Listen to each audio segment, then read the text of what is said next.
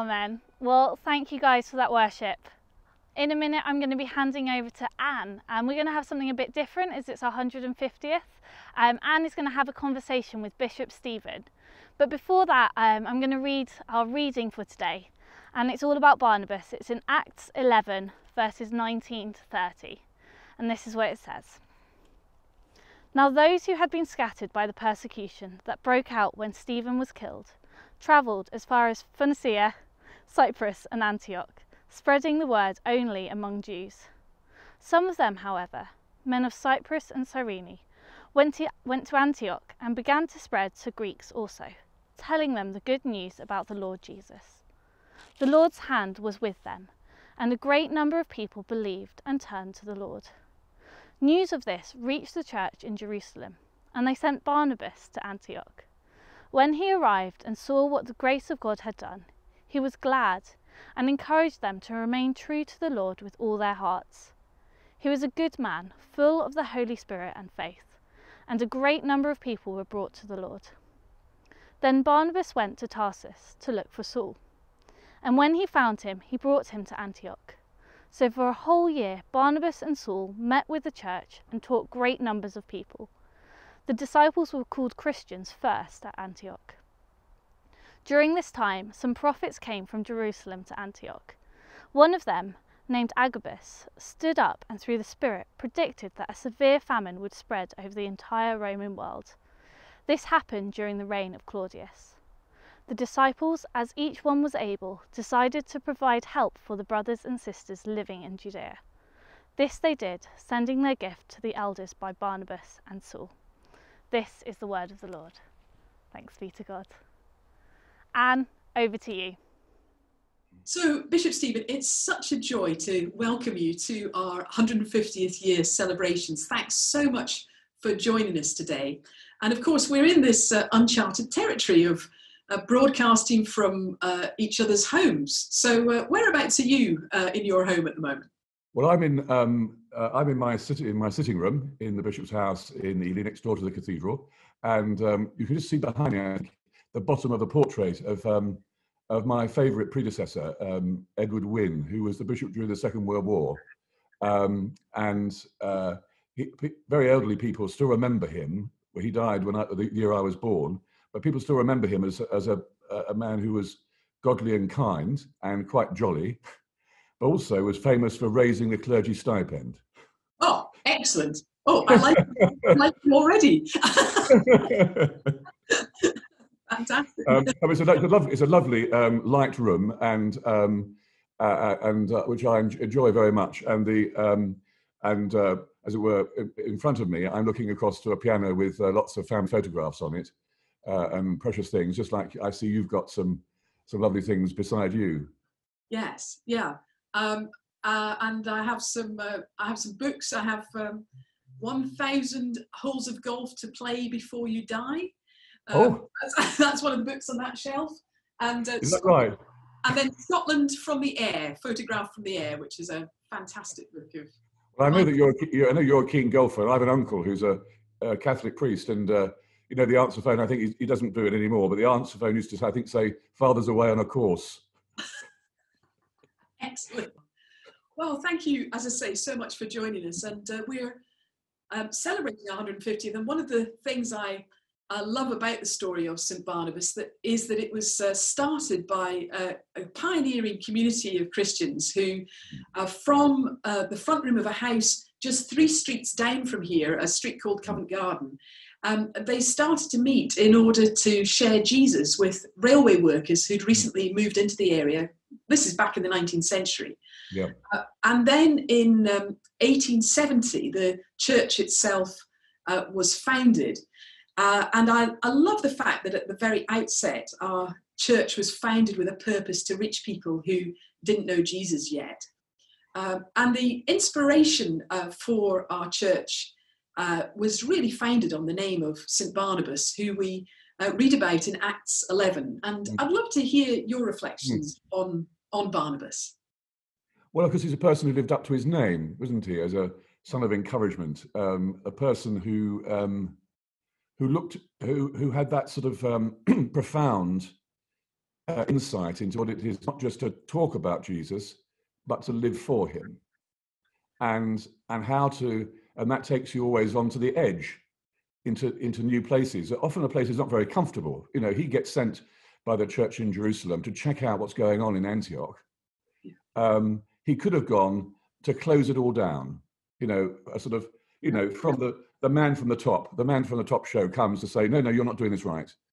Uh, and he says, and of course, there'd been some other frightened, persecuted Christians who'd made their way to Antioch and were sort of all keeping it very quiet because they were scared. Then others come, and the whole field opens up to um, to people who uh, previously thought we, we can't talk to them because they're out, they're they're they're dangerous. They're they're Greeks. They're not like us. Mm-hmm. And um, but Barnabas comes as a as, as a Hellenistic Jew himself. He comes and sees what God is doing. It's an electrifying uh, new way, leaping across the boundaries that human beings put up, and says, and then blesses it. You know, he, he, he could have come to close it down. He, what he does, in fact, is to bless it and inspire and encourage people. And that's why we see the church growing and people, you know, many people becoming believers and and transforming what had been a frightened tiny community into a community that's reach actually looking out all the time. And in fact you know when the famine comes to jerusalem it's the the new church um, the um, dodgy christians as it were who are sending food to the established christians in jerusalem. So they're kind of it's interesting isn't it how how um, you know with jesus it's often pretty tough, it's to turn the world the world upside down because um, and people therefore are called to look for the signs of the activity of, the, of um, the Holy Spirit bringing people to Jesus. And how do we contribute to that uh, as pioneers, as, as the people who are moving to the edge and always looking outwards? I mean, obviously, you as, as the leader of the, of, of the St. Barnabas uh, Church and all its community, uh, communities uh, scattered around the city and beyond, um, it's your job, isn't it, to be a sentinel to be looking to the edge to see where where new opportunities uh, are coming from. You and the PCC are looking to see where are the fresh opportunities uh, for uh, for pioneering and for planting, and to see how do we, in our strength, move outwards mm. um, to transform lives and communities for Jesus' sake. And I think that's what Barnabas does. And of course, the other thing about Barnabas teaches us is that um, if we're going to release pioneers we have to grow, we grow people past us. Uh, what Barnabas, of course, does, he goes, he goes to Tarsus to seek out Paul. Now, Barnabas at this stage is a much more significant Christian person uh, than, uh, than Paul is. Paul is this person people still regard with suspicion from mm-hmm. persecutor to, to transformed disciple. It's Barnabas who goes and takes him from seclusion and says, Look, come and work with me and we can make and, and in jesus name we'll make great things happen. And barnabas as far as we can tell is very content that paul outshines him. And there'll be people in st barnabas communities now um, who are getting ready and they'll be doing wonderful things in jesus' name that you you won't be able to do you know as the vicar. Yeah. and i think it's about how how you and other leaders in the church are growing people past you, like Barnabas did with, with Paul and others. That's uh, that's uh, very releasing and very uh, encouraging to hear that, and um, I can see that in the in the background of St Barnabas again, just looking back to the, the history that linking in with Antioch being very much of a sending church. It, it sent out uh, lots of people. St. Barnabas, again, right in its foundation, started. Um, I mean, we were planting a church as this church was being built, which yes. is extraordinary. Um, the Cambridge University students, they invested in the next generation. They were raising up the Sunday school. Yep. And one of those Cambridge University students was um, Stanley Peregrine Smith, who was one of the Cambridge Seven who went to mm-hmm. China uh, and on overseas missions. So all of that was is very much in our history and is is hugely exciting. it's very, also, it's very, it's very encouraging, isn't it, that if you can um, um, if you can measure up to that sort of Victorian uh, confidence in the gospel and, and having a sort of um, a worldwide, you know, indeed a worldwide vision for what might might be accomplished in transforming the world. I mean, even even the bishop was keen, I see, uh, in in help in encouraging subscriptions to, for the building of the church. And what an important community he the bishop saw it as uh, in bringing the gospel to people who um, who in the industrialized in an industrialized city um, were um, not being their needs were not being met yeah. um, in the in the central Cambridge churches, and so St Barnabas was meeting a real need um, that people who have been excluded from the gospel were to be were to receive it. Yeah, yes. I mean, one of the things he said at, the, at that time uh, was uh, the, the bishop said at that time was there's a rapidly there is rapidly growing in that neighbourhood a large population which will not connect itself easily and naturally with any existing church. Hmm. It has, moreover, a congregation from which its characters a claim on the whole of Cambridge. For though living in one spot, it ministers to and naturally arises out of the necessities of both university and the town. And as you uh, just alluded to, I mean, in, in many ways, both our parish and our Barnabas communities, um. Uh, the, these multiple contexts that we're trying to reach have many similarities with that. Uh, people not naturally connecting uh, with church. Um, what would you say to encourage the people of St Barnabas in the present day to do that? Well, I, I know just wandering down Mill Lane, your end of Mill Lane, and seeing, for instance, you know, you've got this wonderful now, this wonderful threshold in the renewal of your building, and it's a very welcoming threshold. But of course, people can be quite fearful about crossing thresholds for the first time, and so um, so I think that one of the things that inspires me about uh, you as, as a set of communities, in particular as a parish, is the level of welcome that you have worked out that's both professional and sincere, and it's the real, the real deal.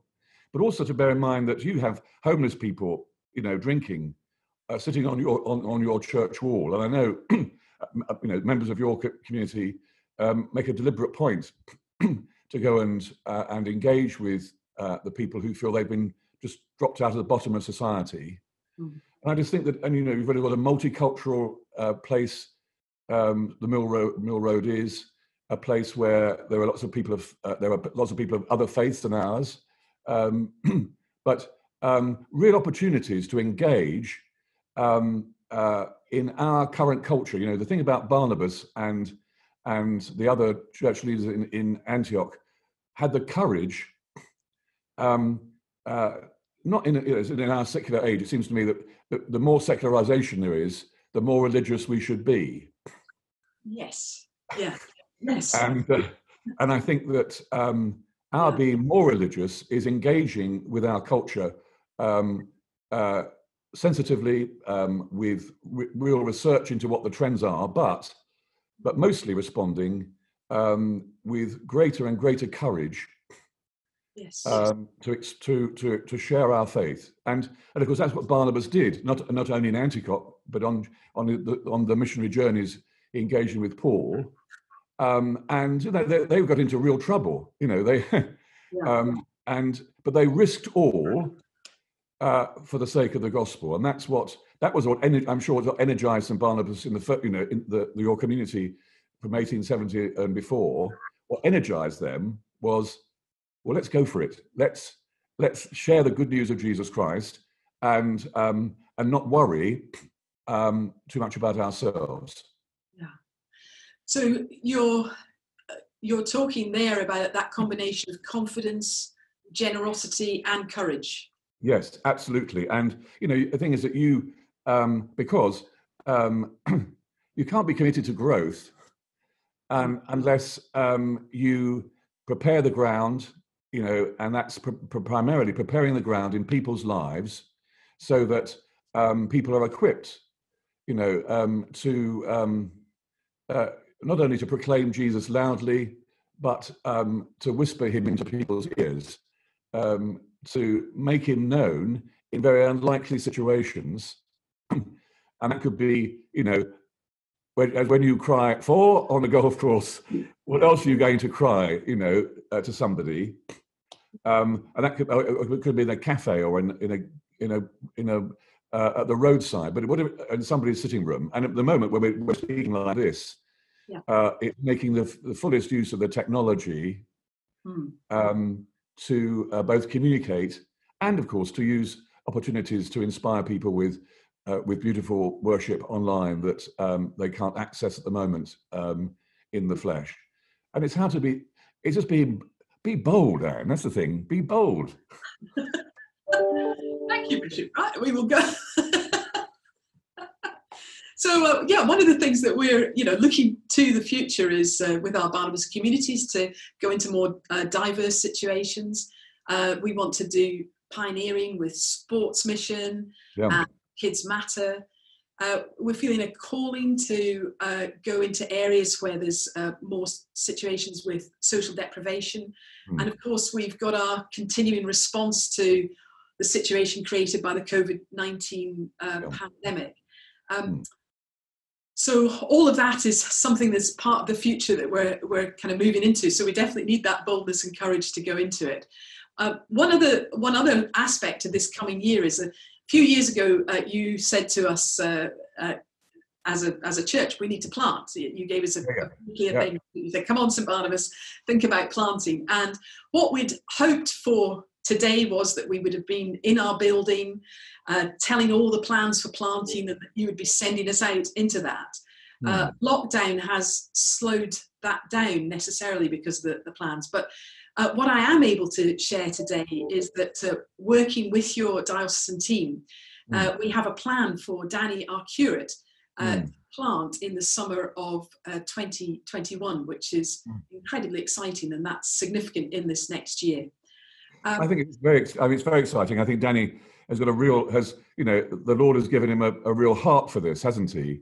Yeah, Uh, yeah. And of course, he grew up because he grew, he grew up in an area of deprivation uh, and has seen uh, the consequences of that. How you know how you know people's lives are reduced to ugliness and and poverty uh, when um, you know these are these are the these are the these are Jesus's little ones. These are the people whom whom, whom Jesus has on his heart uh, more than anybody, uh, as much as anybody, and how to reach those people with the gospel. You know, we you know we we can be a pretty middle class Mm. uh, church, the Church of England, and to be able to reach out to outlying estates uh, and to people who um, who don't who think that they're worthless, Mm.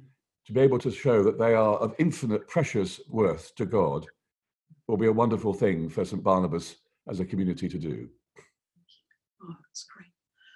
So, um, as we look to the future with our communities and everything that we're we're looking to, what um, what's your take on all of this? What what excites you as uh, we go forward? Well, it's, what excites me is that you're alive. You know, you're alive to and in the in the spirit of uh, the spirit of God. Uh, that um, you have been given a vision for for transformation and growth. Um, and the thing is that the point is, of course, that my, my one of my mantras is that um, uh, growth is an outcome, not a purpose. Uh, our, our purpose is transformation in and through Jesus, um, and and the the gospel of of love and hope um, that has he's- that has been given to us. Um, so, but it's, uh, you, you can see that transformation going on in in your communities and in the parish. Um, now, as Chris say, well, okay, how are you going to apply this um, in in fresh ways that would require courage and and persistence and resilience um, and being sensitive uh, to those around you.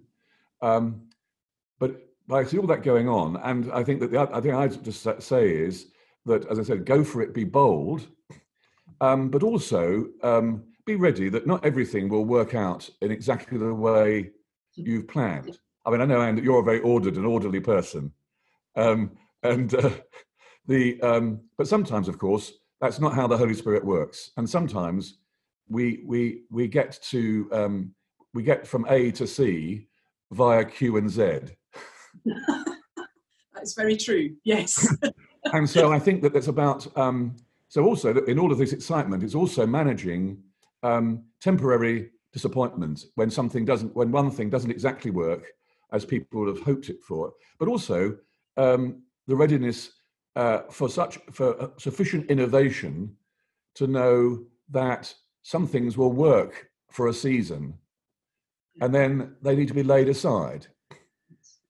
And I think that in that sense, in that, in that context, part of the courage is knowing when to let go of something. Because I want to say to you, if you're doing all these other things, what are you going to stop? Mm.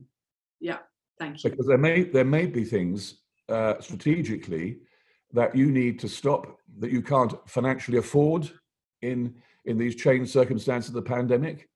Um, so what are you going to do with fewer resources, but just as much love and hope and praise? Because that's a challenge for all of us, isn't it? As a diocese, you know, lots of churches, we're facing a future, an uncertain future, or, or rather, rather, our our future is not uncertain because our future is with a faithful God. But but uh, the circumstances of our future, we don't yet know. Um, and I think that so I what I really encourage you to be is faithful through all of this, hopeful, because what, what's the point of being a Christian if you're not full of hope? um, but ready to. And the thing about pioneers, you know, um, uh, years ago I was preaching in Denver, in Colorado, and the gift I was given, I said, oh, "We got a present for you, a book of Western theology." And I thought it would be a book about St. Thomas Aquinas or St. Augustine. And it turned out about to be the theology of the Wild West. because where Christians are divided into settlers and pioneers. Yeah.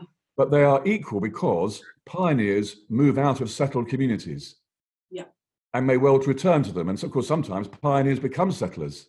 Yeah. Um, so it's not disparaging people who are settlers, um, but it's saying, okay, if you're a settled community, who are you sending out? And um, what resources do we need to keep for the settlers so that they don't end up um, uh, suffering at the expense of sending everybody out? So I think that the um, Mm. So I say, be bold and um, uh, and you know and check on your rations. Yeah, that's wonderful. That's wonderful. Would you um, would you pray for us as uh, of course at the end of our time here? That would be wonderful. Gracious God, we we praise your name for your faithfulness to us for your sending your own Son to die on the cross as our Saviour. We want to be people who, um, who see the stone rolled away, who know and live the resurrection of Jesus. Make us more and more part of the new creation. And as we uh, celebrate 150 years plus of uh, the mission in the name of, of St. Barnabas, we give you thanks for his example of courage, of insight, of, of uh, encouragement. We pray that we may um, go boldly as he did and we ask that you will give us um, the strength and the wisdom to um, grow others past us, both in skill and um, in generation, that the work of, of this church and its many Barnabas communities may continue to grow and spread and reach out um, to those who have never heard the gospel and who need to know the worth that you lend them through your precious love. And we ask all of this and your great blessing upon us all in the name of Jesus Christ, our Lord and Saviour. Amen.